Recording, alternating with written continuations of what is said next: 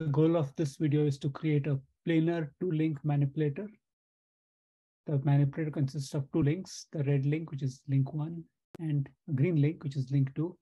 The center of mass of these links are the white dot as shown.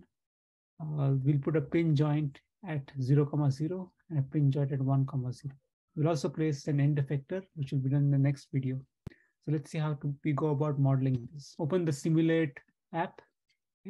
Uh, we'll work exclusively with this hello.xml example. We'll modify it to sort of purpose. So we'll make a copy of it and call it manipulator. So drag and drop it. And then you see that familiar block being dropped on a red plane. So let's open this in Atom. So I'm going to make changes to this file and view it on the right side by clicking on uh, reload, which is here. So first thing I'll do is turn off gravity so that this block will not be locked down. For that, you need to look at the XML reference. The command to stop gravity to to reset the gravity to zero is option gravity equals zero zero zero and close the tag. And now we just just do reload and you see that the block is stationary. I want to change the color of the plane. I'm going to make it white.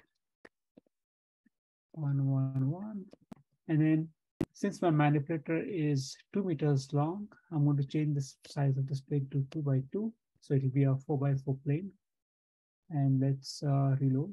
It's white. And tilt, and zoom. And so zoom out. So to see that it's something like this. Okay. Um, I would like to move this source of light away so that it doesn't cast a shadow.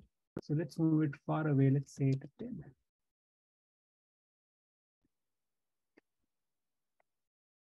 Okay, now that I've created the plane, let's move on to modifying this box. I don't need a box here. I'm going to use a cylinder. So I'll change this to cylinder.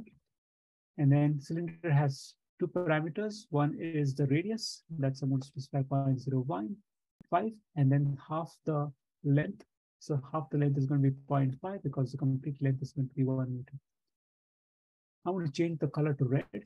So R is one, zero, zero, and then the last one is opacity. Save this and reload. You see, we got a cylinder.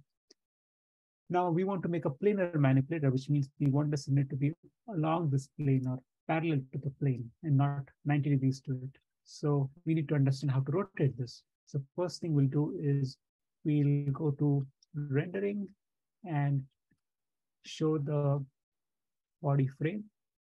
And so here the frame is shown with the red, blue, and green, red being the x-axis, green being the y-axis, and blue being the z-axis. So here the cylinder, which is along the z-axis, needs to be turned by 90 degrees above the green or the y-axis.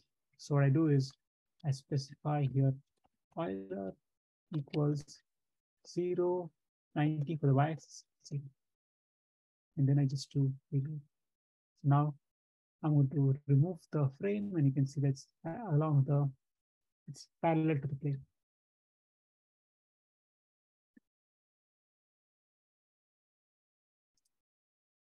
We can move it slightly down, say 0.1. So now it's very close to the ground. And then we can also actually visualize the world frame.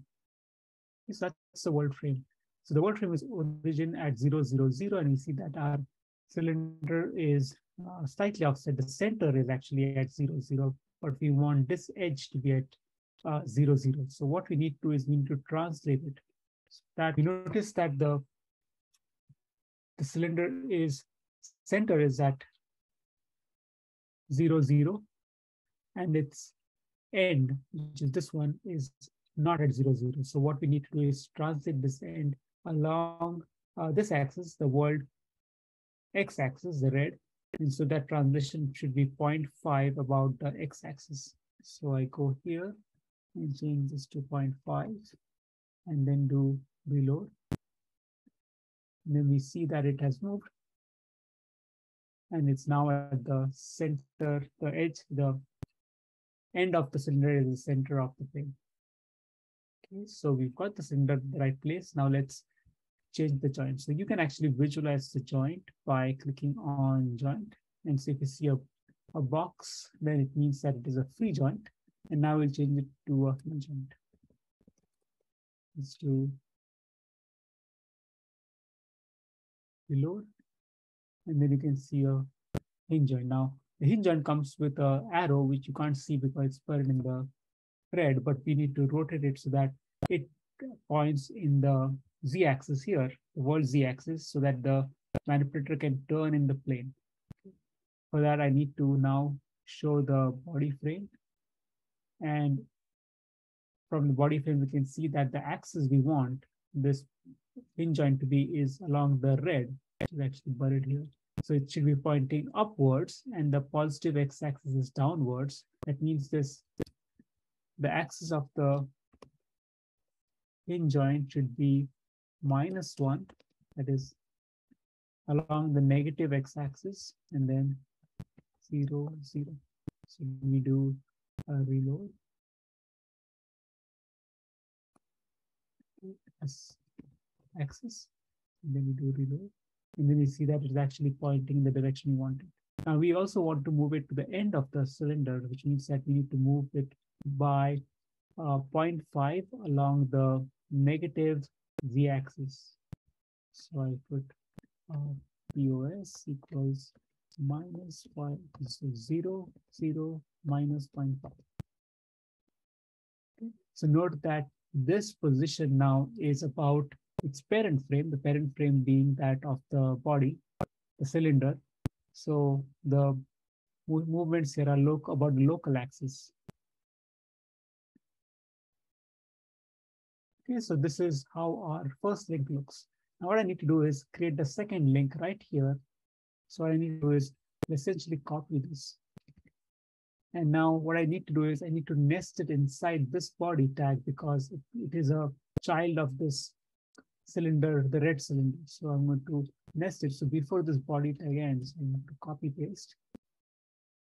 I'll make a few changes and then I'll visualize it. And I want this position to be zero, zero, zero, zero. I'm going to reset everything to zero just to make it easier to build up the intuition and, and logic as I reload it. I'll keep the size same, but I'll change the color to be all looks good. Let me reload. And then if you see that it's actually lined up exactly on top of the red cylinder.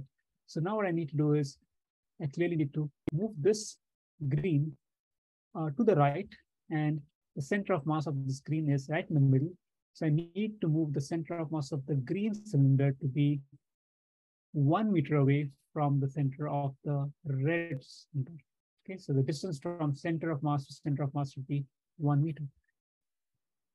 The question is which axis regulated? So if you turn on the axis again, you see that uh, I need to move about the blue axis, which is the z-axis. So I need to go zero, zero, one,